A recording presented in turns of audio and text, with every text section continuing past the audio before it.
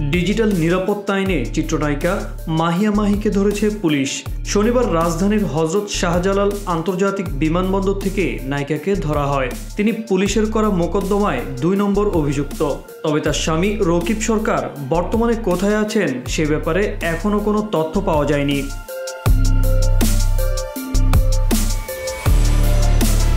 চিত্রনায়িকা মাহিয়া মাহিকে ধরার পর সংবাদ সম্মেলন করেছেন গাজীপুর মেট্রোপলিটন পুলিশ।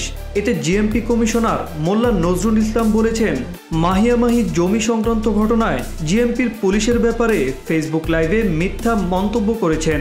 তিনি প্রতিপক্ষের ব্যাপারে মন্তব্য করেছেন। এভাবে একটি প্রতিষ্ঠানের ব্যাপারে তিনি মন্তব্য করার অধিকার রাখেন না।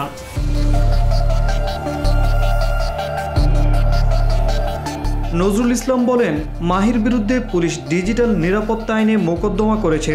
তার প্রতিপক্ষের লোকজন জমি সংক্রান্ত ঘটনায় আইন শৃঙ্খলা অবনতি সংক্রান্ত মোকদ্দমা করেছেন।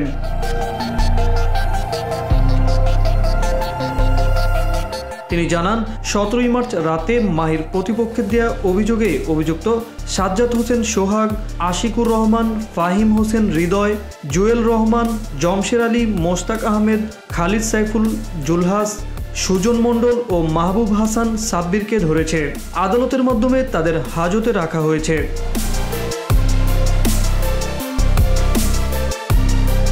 কমিশনার আরও বলেন, মাহির স্বামী রকিব সরকারের বিরুদ্ধে এর আগেও তিনটি মোকদ্দমা রয়েছে। ওই মোকদ্দমাগুলোতে কেউ সাক্ষী দেননি। কিন্তু ঘটনা সত্য ছিল। তবে এখন সেগুলো পুনরায় তদন্ত ও সাক্ষ্য প্রমাণ গ্রহণের সুযোগ রয়েছে। এছাড়া রকিবের বিরুদ্ধে প্রতিনিয়ত আমাদের কাছে বিভিন্ন অভিযোগ আসছে।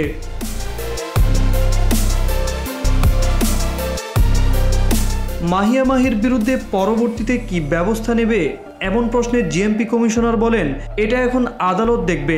আদালত এই বিষয়ে সিদ্ধান্ত নেবে।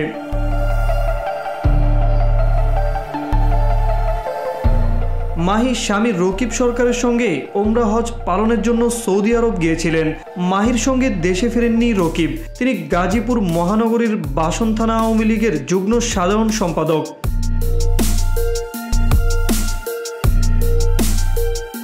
এদিকে বিমানবন্দর থেকে মাহিকে জিএমপির হেডকোয়ার্টারে নেওয়া হয়। পরে নায়িকাকে গাজীপুর আদালতে নেওয়া হয়। পরে আদালতের বিচারক মোহাম্মদ ইকবাল হোসেন নায়িকাকে হাজতে পাঠানোর নির্দেশ দেন।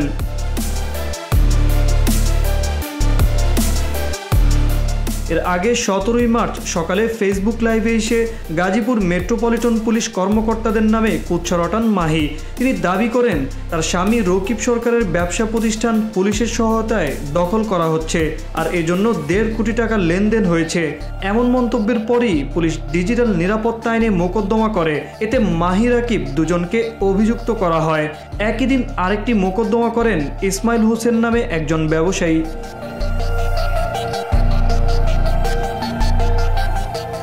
রাজশাহীর মেয়ে মাহির সিনেমায় অভিষেক। দুই হাজার বারো সালে জাজ মাল্টিমিডিয়ার প্রযোজনায় ভালোবাসার রং চলচ্চিত্রের মধ্যে দিয়ে। এরপর এক দশকে বেশ কিছু ব্যবসা সফল সিনেমার নায়িকা হন তিনি। গেল বছরের সেপ্টেম্বরে মাহি জানান, তিনি মা হতে যাচ্ছেন। অনাগত সন্তানের অপেক্ষায় থাকার মধ্যে পুলিশের হাতে ধরা পড়লেন তিনি।